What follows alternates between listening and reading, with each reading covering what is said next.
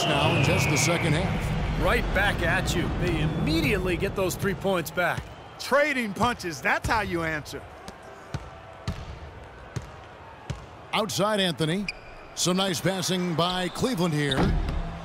He had a nice open look right there. That's 28 points for Kobe Bryant.